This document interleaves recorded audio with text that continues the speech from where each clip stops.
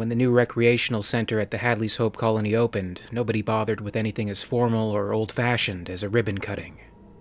Al Simpson, the colony's administrator, unlocked the door and swung it open, and the party began.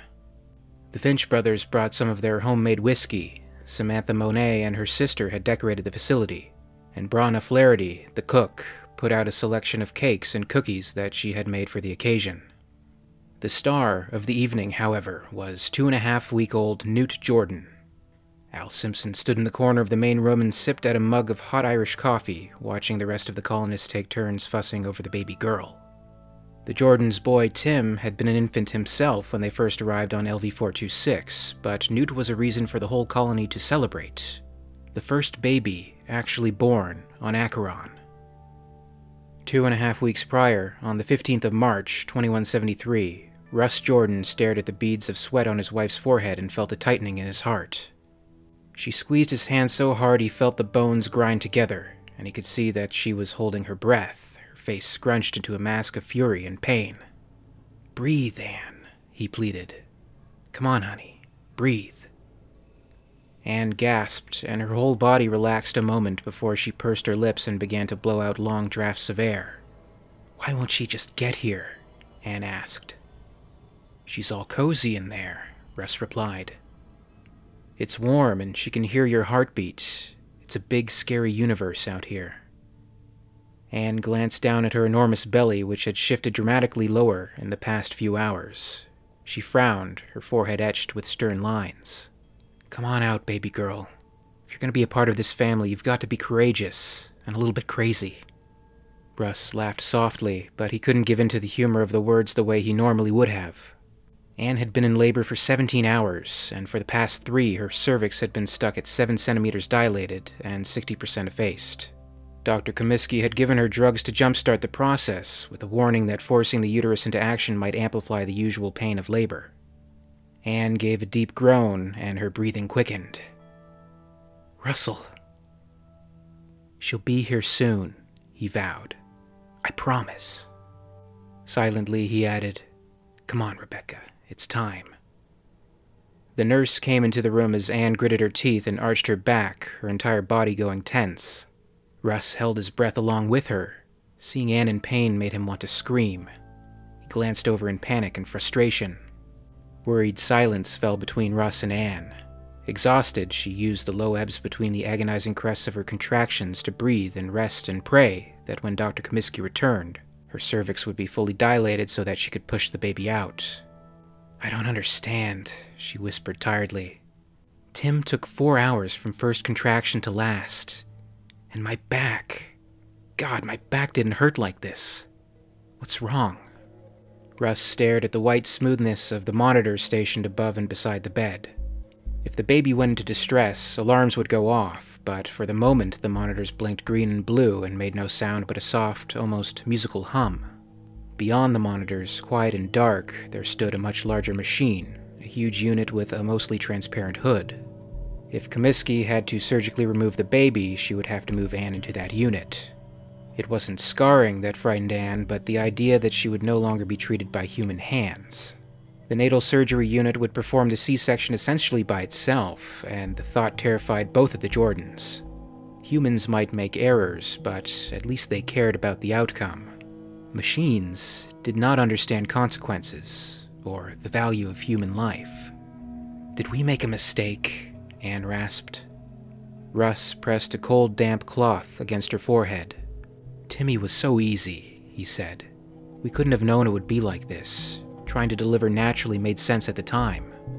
Not that, his wife said, one hand fluttering weakly upward, moving her fingers as if she could erase his reply.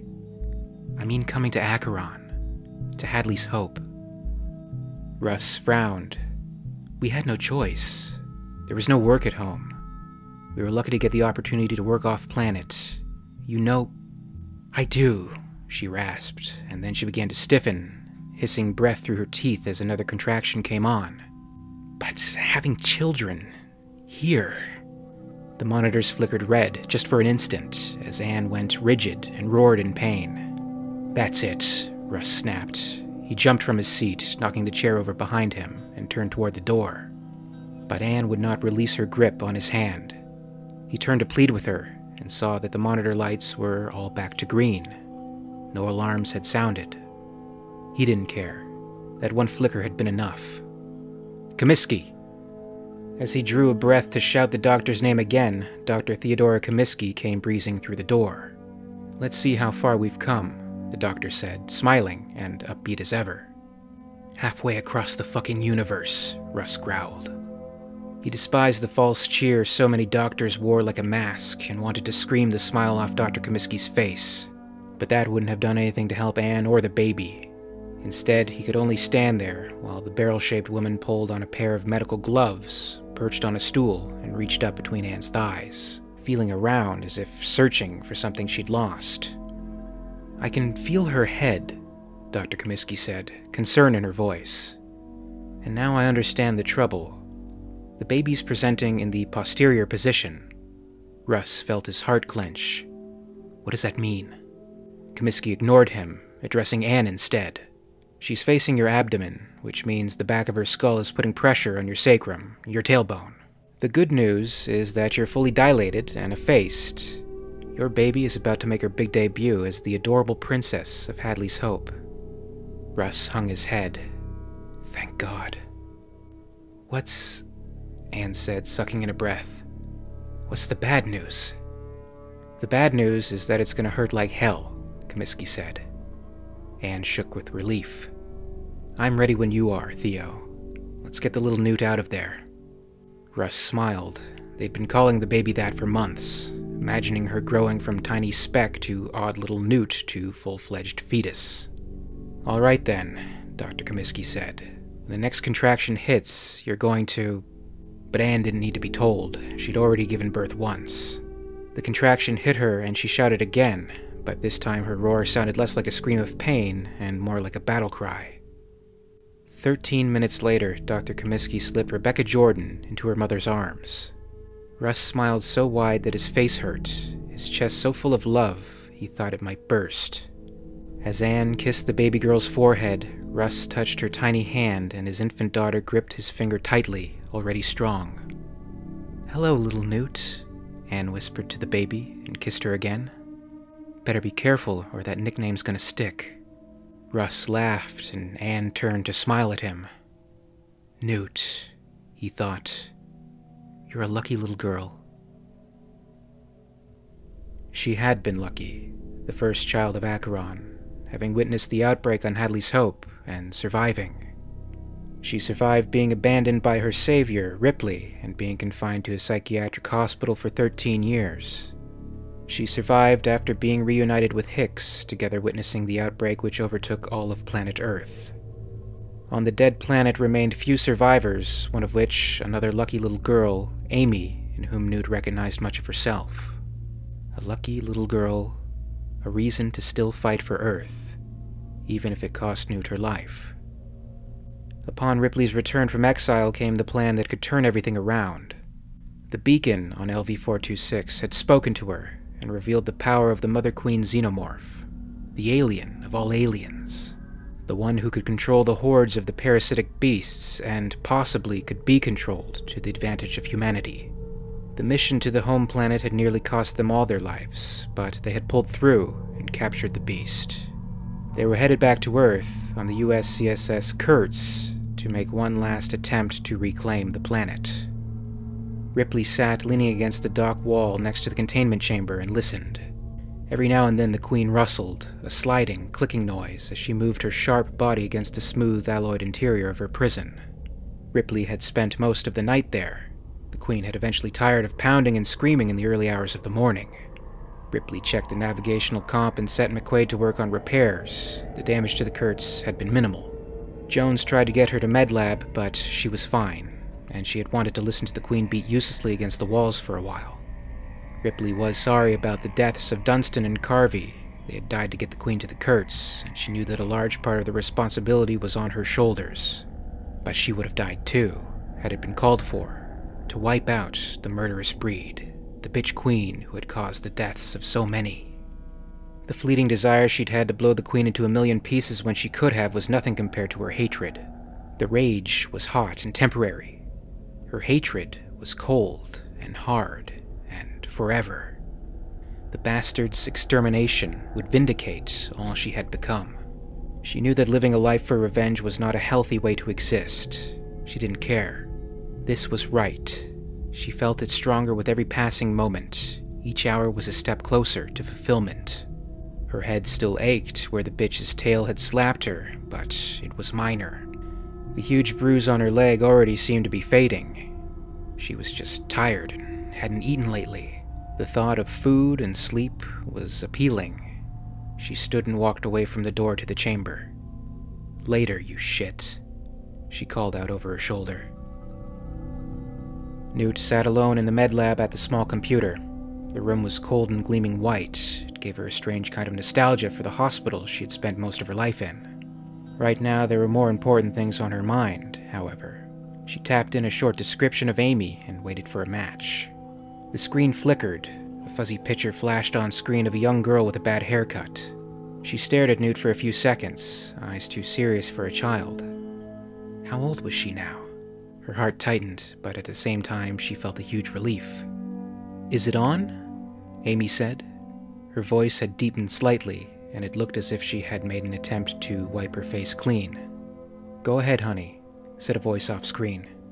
Me and Daddy are in a factory that used to make microchips in Northern California.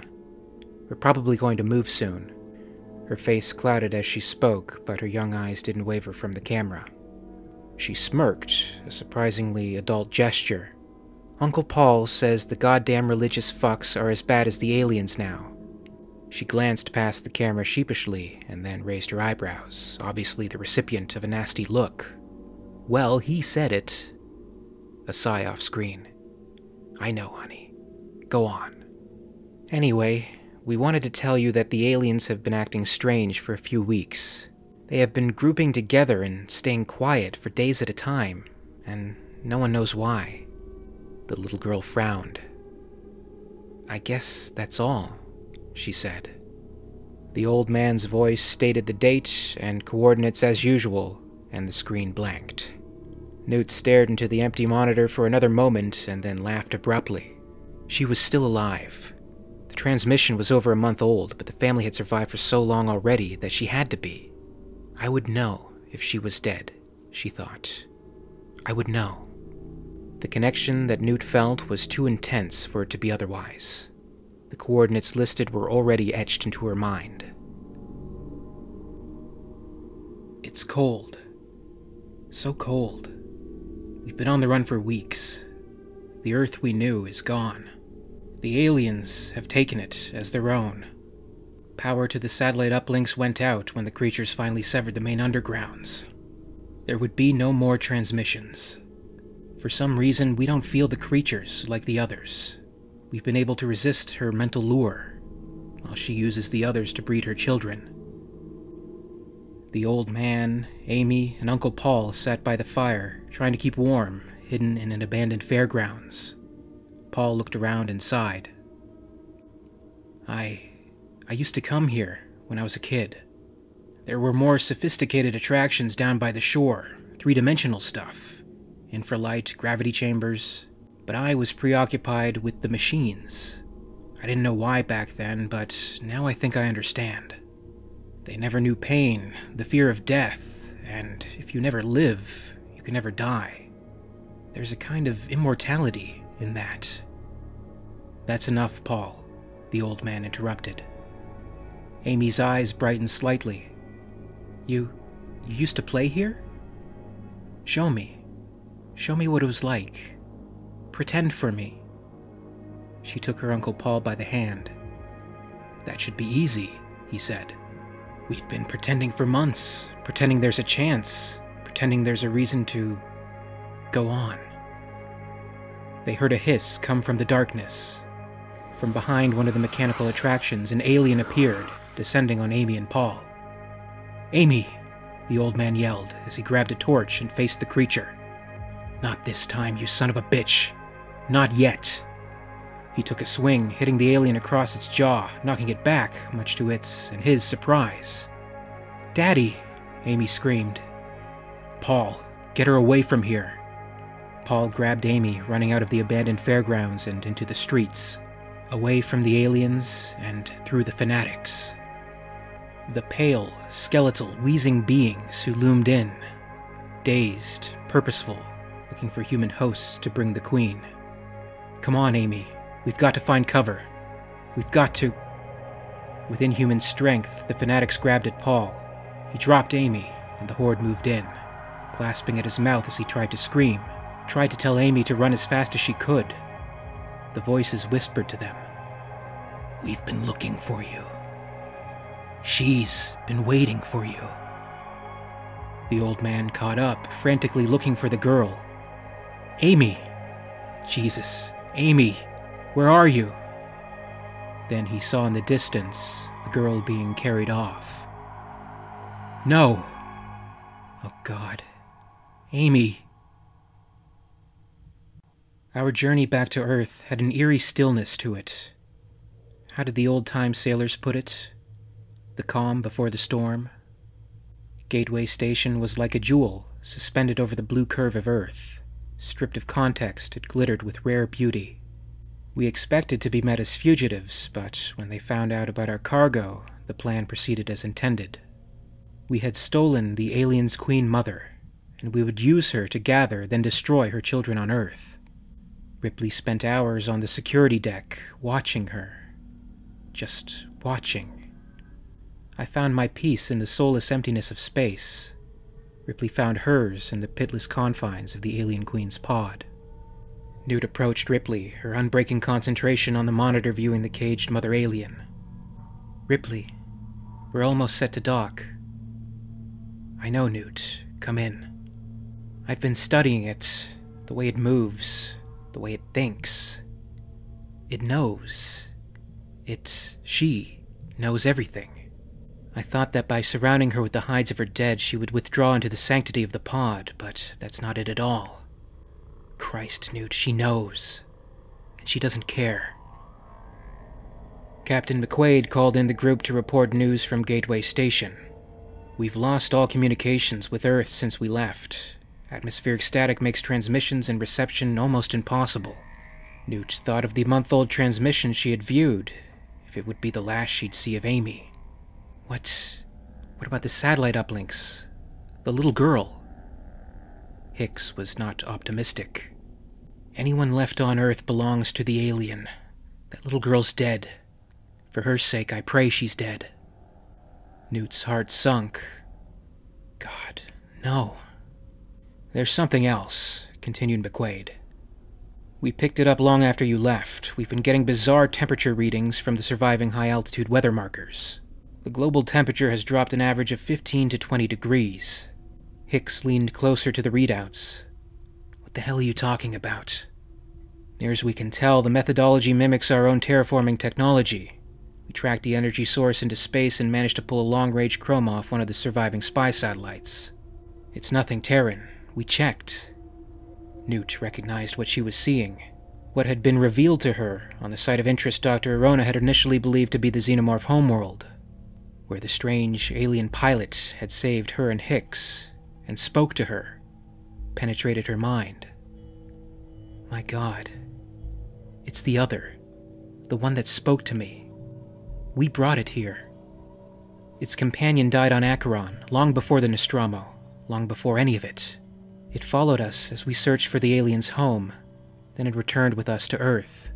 We thought it shared our hatred of the alien, but it wanted Earth, not revenge. Ripley had had enough of this. We're wasting time, damn it. It doesn't matter. Nothing matters except those things.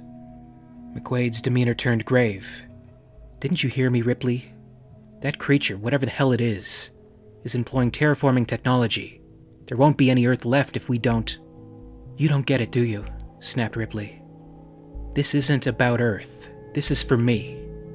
Once those creatures are dead, I'm through with it. I see. It's easier when you just don't give a shit. The military, the corporation, they brought the alien to Earth for a reason. They tried to buy me the same way. I owe the aliens some payback. But I don't owe your Earth a goddamn thing. We're going to finish this. Now. So, how are we gonna unload our cargo without getting eaten by it? said Falk. Or getting our butts kicked by our unhappy children, from McQuaid. Although the questions weren't necessarily directed at her, Ripley felt that they were waiting for her response. I've got a pretty good idea of the layout on where we're headed, she said. We're going to have to do this quick. She'll be calling the creatures to her before we can even land. Newt broke in. She's calling them already, I think. I watched some of the casts that Leslie sent over about six weeks ago. The people on Earth said that the aliens have been gathering together and not attacking as often. The crew watched Ripley, waiting for her to speak. This is going to be tight, she said. The arsenal is set into the other side of a mountain. We drop the Queen on the other side and work fast enough to be done before the majority of her brood shows up. They might know about where she's landing, but not exactly. Do you think the bunker will have been raided? Tully asked. Hicks shrugged. Maybe. I'd say definitely, but it's an isolated area. The whole topic had been glossed over as quickly as it had come up. Ripley suddenly realized that she wasn't going to get the response she had expected. We have as much of a plan as we're going to get, she said. Ripley and Hicks led the others to the ship, readying themselves for their final struggle. The flame of hatred burned bright in Ripley's eyes. I'd seen it so many times before. In Hicks, in General Spears, in myself. I watched them disappear into the cold steel of the airlock, disappear into Ripley's obsession, all the time knowing what I would have to do. Arona's bombs were part of an old style military arsenal located in a remote mountainside bunker. That was Ripley's target. The alien queen mother would gather her flock for nuclear Armageddon. Those not killed by the initial blast would be left without any function. There's no reason for you to come, Newt. You'll be safe here. Newt did not protest. I know. I didn't have much time. Something had changed Ripley during our time apart. And yet, in a real way, she was the only one who would truly understand what I was about to do. Hicks watched the mountains grow as the Kurtz got closer to its destination.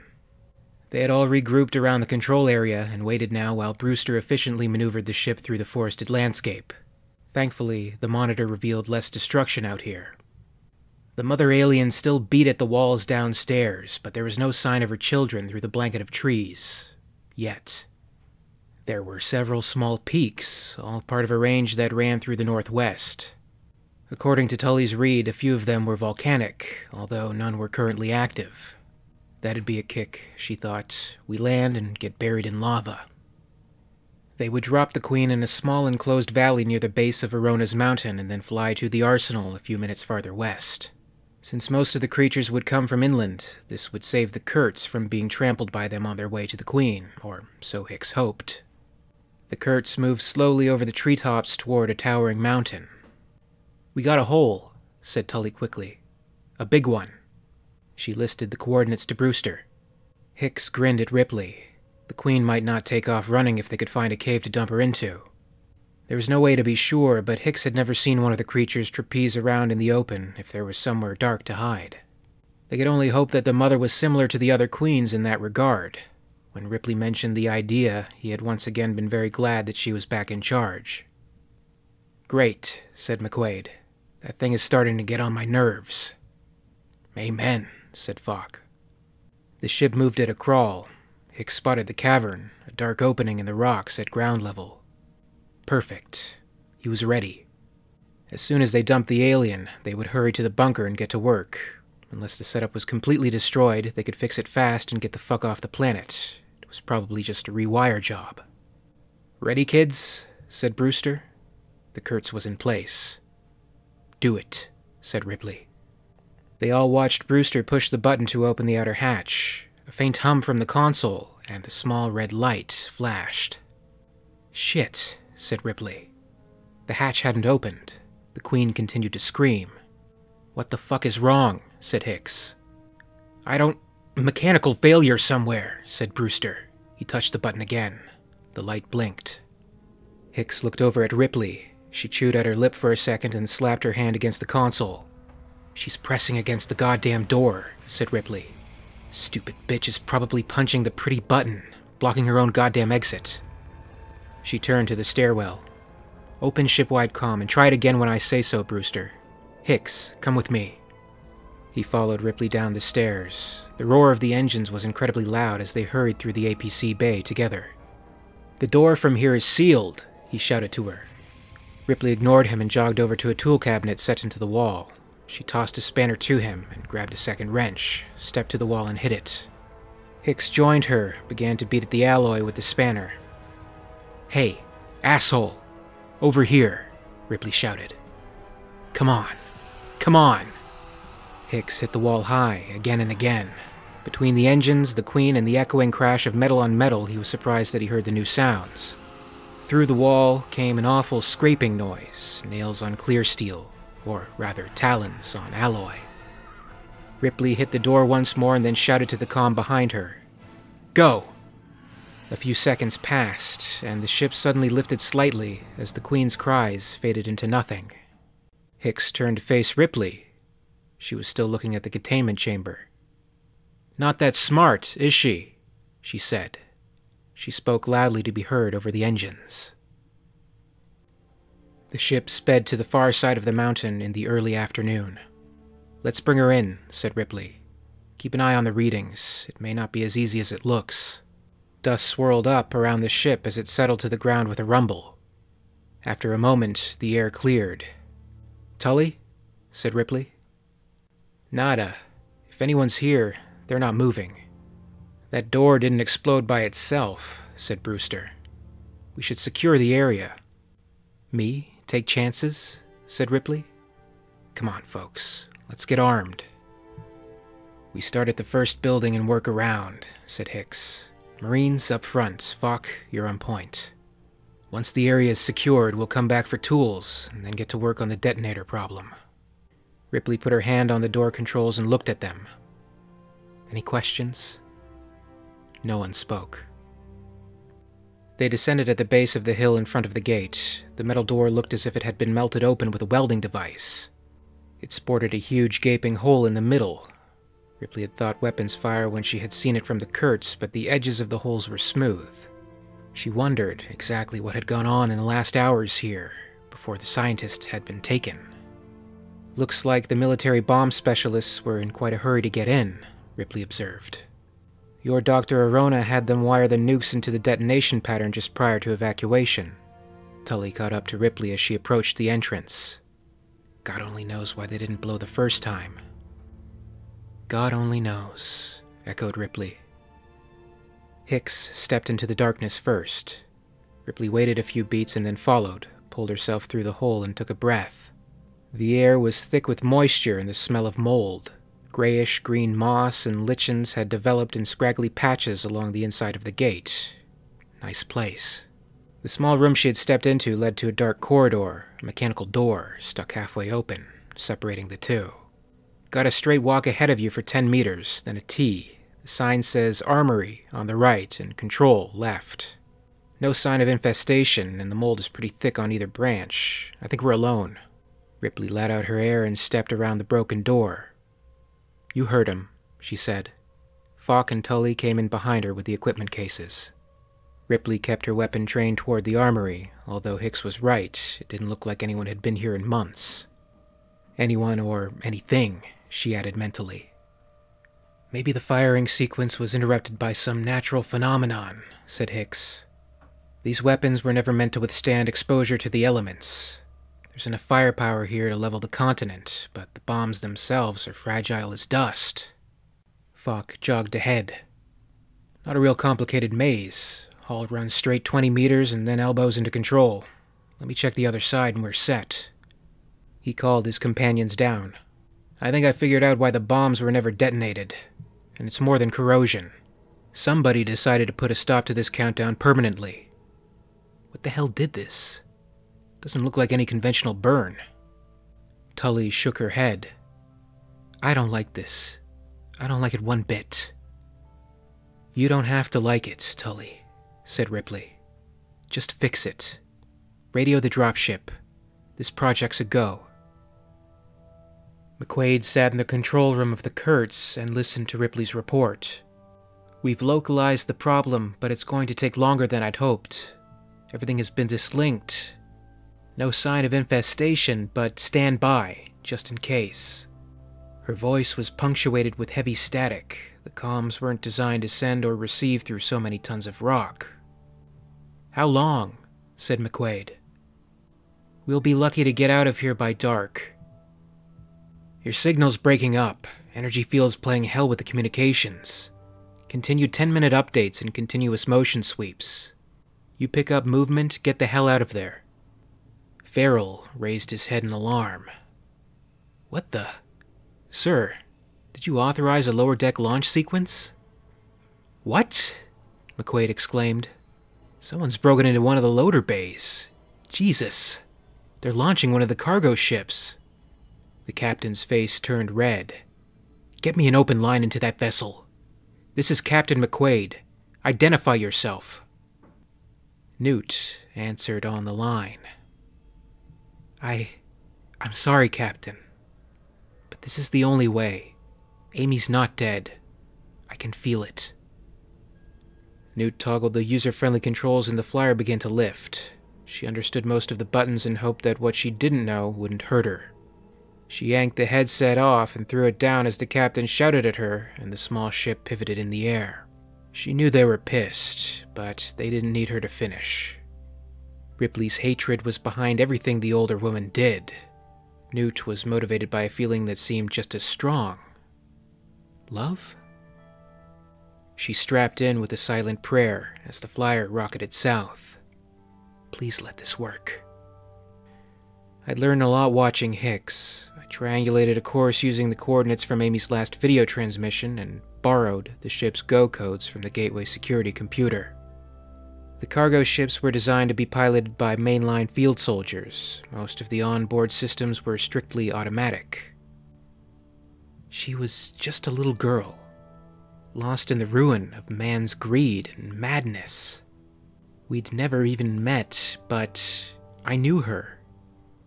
Her name was Amy. Her name was Newt. We would survive this together, or not at all. I wasn't sure where to begin, and then I heard the screams. Just like before. Like Acheron. Like all the rest. The sound was so close, the reverberating beneath the broken streets. Each time I escaped the alien, it seemed to bring me back. I began to realize this was more than capricious fate or chance. It was design. It was meant to be. The terrible screams grew louder, and I wanted to join them, add my voice to the rising howl of pain and horror. Jesus, God, I didn't want to die. She started down the corridor to her left, her footsteps echoed loudly and hollowly in the cool, dead air. If anyone was in the building, she wasn't going to be a surprise to them. Within seconds, the lights from the outside had disappeared completely. The hallway seemed to go on forever. She struggled to damp down a feeling of dread that threatened to rise up and bloom into panic. The stale air was clammy against her skin. She didn't know where she was headed. Anything could be waiting for her, watching her, and it was dark. That was the worst. It was blacker than space. She stopped. This was completely stupid. She would go back outside and reevaluate the situation. She was going to lose it in here. Suddenly, she heard a noise directly behind her. She froze. Just a little sound. Could be anything. A shift of weight or. Newt screamed and jerked the trigger. The blackness broke and reformed around the burst of gunfire the sound deafening in the corridor as the bullets hit the wall. I could feel my skin blister from the heat of the blaster fire. There were hundreds of them, thousands.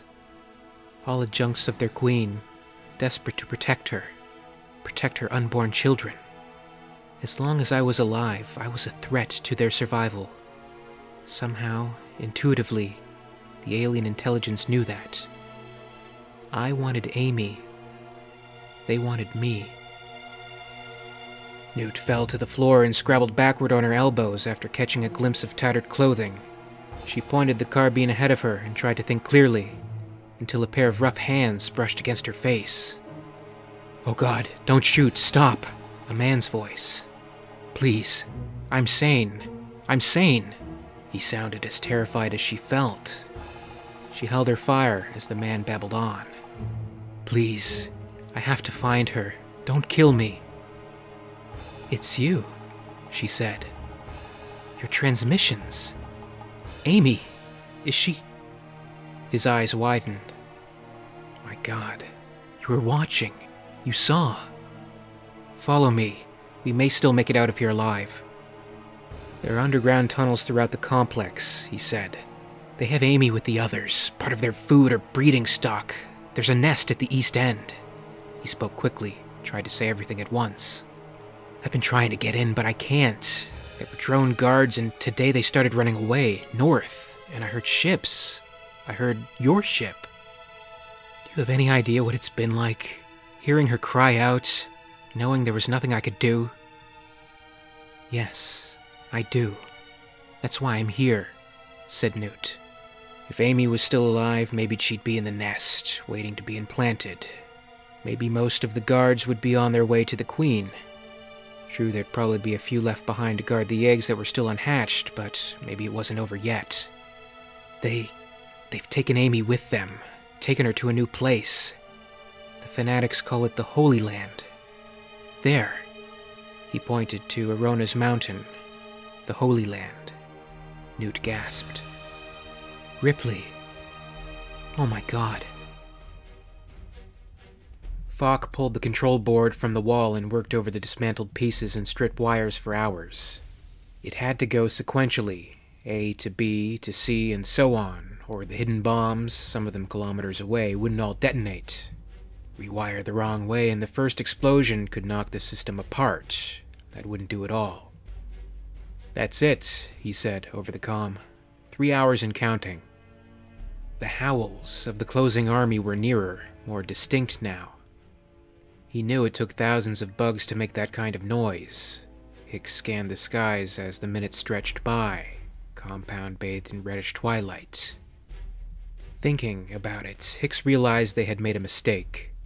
They should have wired the bombs first, parked the ship with the Queen somewhere else to draw the brood, then dropped her off after things were ready. They hadn't thought it out right, hadn't expected the damn things to come so fast, for there to be so many of them from that direction. Hicks took a deep breath and let it out slowly.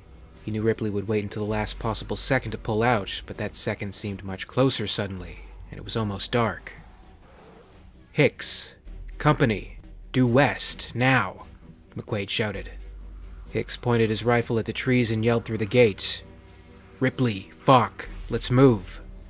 As a unit, they moved toward the ship. The woods crashed and crunched with the sounds of movement, but there was still nothing to see. The first drone broke from the trees and ran into the compound, its long body hunched, arms extended. It was going to see the Queen, but they were between it and her. All three of them fired at once. The thing shrieked and hit the ground, nearly cut in two by the armor piercing bullets. The forest suddenly erupted, spewed forth a handful of drones at once. They loped for the threesome, howled as the rain of bullets found them. Go, Ripley said, she stood her ground, continued to fire as more of the drones ran into view. Hicks spun in the open hatch and fired. Dozens of the bugs came out of the trees, their insane bodies moving at great speed. Ripley, he yelled. She backed to the Kurtz without looking and nearly tripped on the deck. Hicks took out three more of the creatures as he turned and stumbled inside. Falk hit the button. The hatch slid up and in, too slow. But they were all inside. A score of aliens pounded at the closed hatch, their cries muffled through the alloy. McQuaid, Brewster, get us out of here, Ripley yelled into her set. Farrell detected something on his radar, en route to the site. He notified Brewster. I'm picking up another ship on the inboard radar. Automatic scan says it's cargo class, registered to Gateway. That's impossible, scoffed Brewster. Double check the system, then get Ripley up here. Pronto. Speeding toward the destination, Newt and her guide aboard the cargo flyer realized their dire situation. Newt felt panic take over her. We're getting close, the old man said. God, those things are everywhere. He looked to Newt. What's wrong? It's one thing to preset coordinates, but I've never flown one of these at close range. She took a deep breath. I'm scared. Alarms began blaring. Shit, we're losing power. I don't know how to stop it. We're going in. At Brewster's orders, Farrell had brought Ripley up to the cockpit to advise her of their findings. What do you mean another ship? Gateway hasn't clocked any ground based Earth traffic for weeks. Farrell motioned to the screen. It's from Gateway, and it's about to crash. The flyer skidded over the surface of the site with an ear piercing screech. Despair washed over Newt at the sight of the empty compound. Well, almost empty. Even in the heavy dusk, she could see the dark alien bodies strewn on the ground. Oh no, she said softly. Her companion was knocked out cold. She pulled at him, speaking apologetically, as much as to him as to herself. We have to. We have to get away from the ship.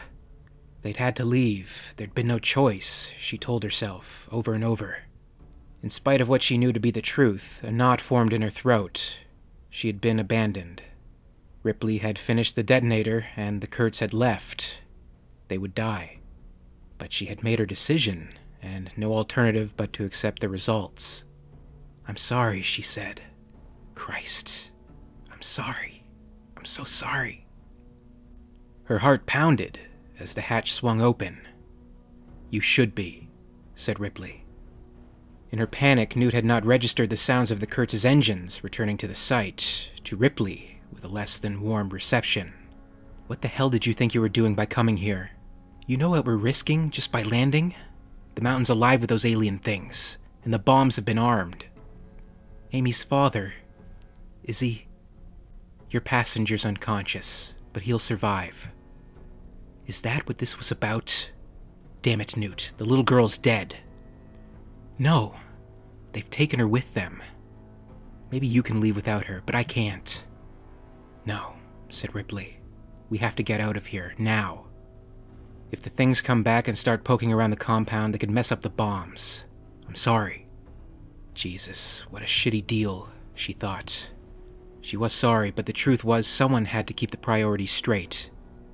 The Kurtz's engines were cycling. Ripley stood in the APC bay with Newt, and the old man had listened to their story with mixed emotions. The initial happiness that Newt had returned had been replaced by frustration and disbelief, and a horrible, dreadful sense of nostalgia, one shared fully by Newt. She had risked everything to pull me from the wreckage of the cargo ship, but I still couldn't forgive Ripley for leaving me alone on Acheron. And, even worse, she hadn't forgiven herself. Tully and Falk fired at the incoming drones.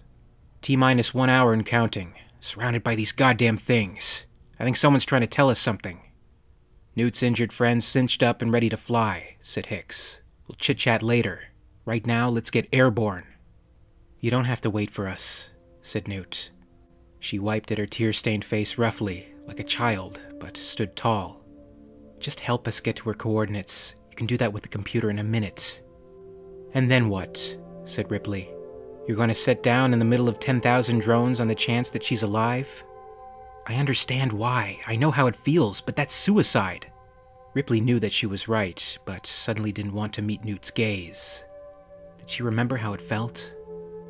Fucking hypocrite. What had happened to her? All she wanted now was to destroy the breed that had destroyed her life by taking her daughter. Ripley didn't speak. Her thoughts jumbled.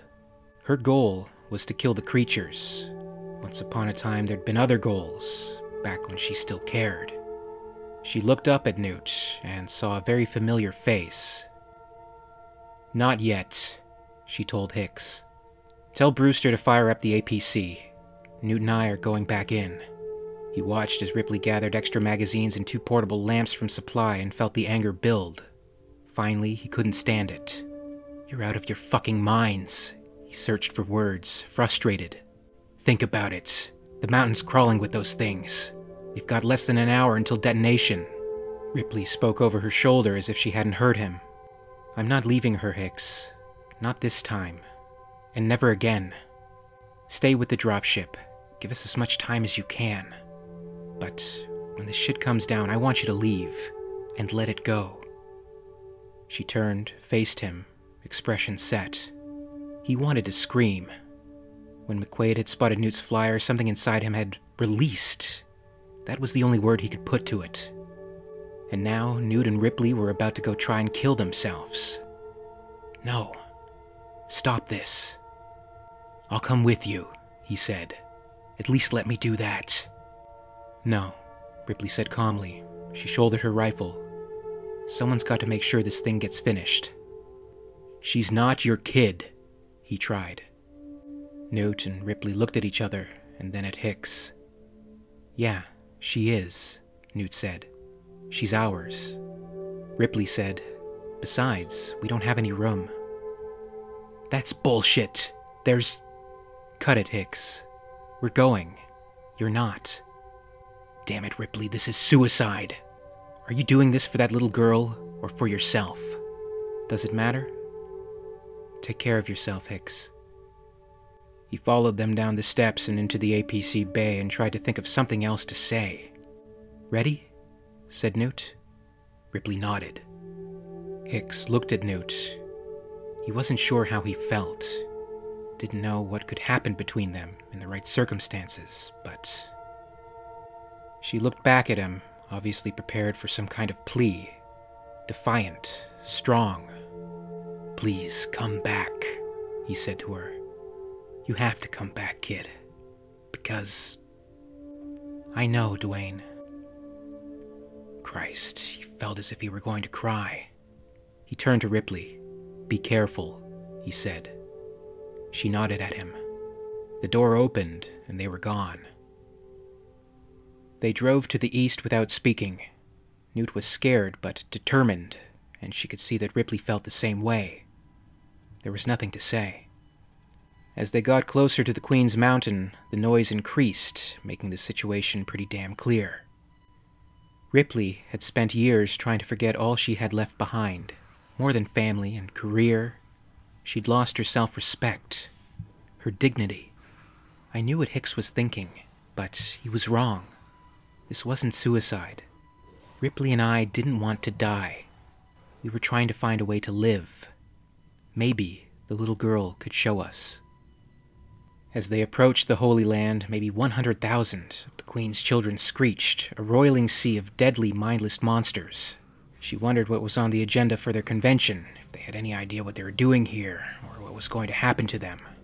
And she wondered how many more there were to come.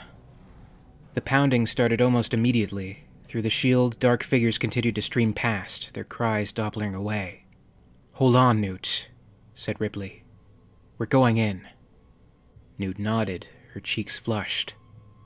A wall of creatures ran into the tank and fell, sprayed acid and bits of exoskeleton behind them.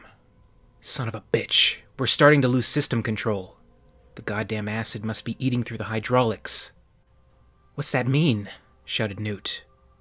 It means I'm losing her. I'm lose. The APC skidded, overturned. For a moment, there was only darkness and then there was light. Ripley blew the explosive bolts on the side hatch and climbed out to face her demons.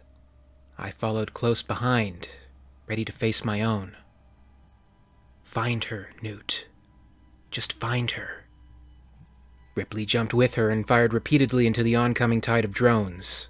An alien skittered across the top of the APC and prepared to lunge. Newt smashed in its chest with a short burst. They sidestepped into the tunnels, weapons on full auto. They scanned the area for more. Newt took in the human blood that painted the interior, the articles of shredded clothing that lay about, and the bodies. Amy, she screamed. Talk to me, Amy. God, please. A weak call from within the tunnels. Help me. A red haired girl cried out, the sound lost as the weapons thundered. The girl huddled against the wall and sobbed. Newt crooned at the girl. It's okay, Amy. It's okay. It's okay. Hang on, honey, just hang on. Her throat felt as dry as sand. I knew you were all right. I knew it. At the sound of Newt's voice, she lifted her puffy face and looked at her. Hold me. Please don't let them take me again. Please. Your daddy sent us, said Newt. He's safe. Really? Amy's eyes widened. Yes, said Newt. Really. Amy's face changed, the look of despair swept away. Tears still running, the child stood and stumbled across the room toward Newt, who stretched out her arms. Amy fell into them and hugged her hard. There was a splintering crash from behind, and a hiss. The Mother Queen. She emerged, roaring wildly, the cries of her children inside and out in concert with her deafening cries. The mother screeched, grabbing for the child as Newt tried to run off with her. She was exhausted. The mere weight of the little girl was almost too much. Then, a call from across the way. The voice of an old friend. Hey, bitch. It's me you want. She quietly sidestepped to Newt and Amy, not leaving her eyes off of the Queen. Newt, she whispered. Move over here with me. Her attention turned to the mother monster, loud, clear, and aware of what they've walked into. That's why you had your babies keep the little girl alive. You knew we'd come for her. Aiming the carbine at the Queen, she shouted back to Newt Get back to the APC and wait for me. I've got something to finish. She stared into the blank dome where she thought eyes may be, looking through with an intensity and focus she'd never felt before. As if words were not necessary, as if their minds were connected and there were no need for words. Fifteen minutes, and this whole mountain's going to be so much dust. But that's not the point, is it? This is what's important. You and me. I thought I'd let the bombs finish you, but it's better this way. Come on, take a good look. It's the last thing you'll ever see. Ripley raised her weapons and fired into the nightmare creature. The spray of bullets batted it down, Amazed, Ripley discovered she didn't want to die. The monster flew back, sprayed pieces of burning shell. Ripley avoided the spray of acid blood as it hurtled to the ground against the walls, pouring down the Mother Queen's body. Gunfire pierced through her skull, her chest, and limbs. For all of the mental hold she had had over her brood and the grasp she had over humanity, she died quite swiftly. Her children were now orphans, and they were filled with rage. The Kurtz was in the air, flying an eight pattern high over the compound. Hicks hadn't waited for the bugs to show. Half an hour into Ripley's time limit, he'd had Brewster take the ship up. If they were coming back, better that they had a clear spot to land. Damn it, Ripley, where the hell are you? Twelve minutes and counting, said Brewster. We're eating up our safety margin. But quick, the last time I played it safe, I ended up with a pistol against my head. But this time, there's no room for dispute. If we're not out of here in five minutes, kiss your ass goodbye. Newt hustled Amy out of the tunnel in front of her. She searched the darkness wildly for targets. Move, shouted Ripley. She caught up to the pair, firing occasional bursts of ammo at the creatures that still ran at them. Twelve minutes to detonation, said Newt, panting. We've got to get outside. Christ, Ripley, the APC's totaled. I don't think they're gonna let us walk out. Who said anything about walking? Ripley replied. Get inside the APC. Now. It will take those things a couple of minutes to squeeze inside. That should be enough time. What the hell are we doing, Ripley? Newt said, climbing inside the overturned vehicle with her companions. Ripley was confident in her last ditch effort for escape. Inside the vehicle, a pod just room for two adults and a small child. They designed this escape pod for quick exits in case of internal core damage. It's supposed to blow up and out, but we're going to change the specifications. Hold tight. The pod blasted through the tunnels, past the hordes of pursuing xenomorphs with blinding speed. A narrow trajectory, a very lucky shot, but perhaps too late. Brewster was resigned, Right. That's it. He couldn't look at Hicks. We're out of here. I'm sorry, man, but. Hicks's face lit up. Wait a minute. What the hell is that? My god, it looks like some sort of projectile. Or escape pod. Take her down. Now.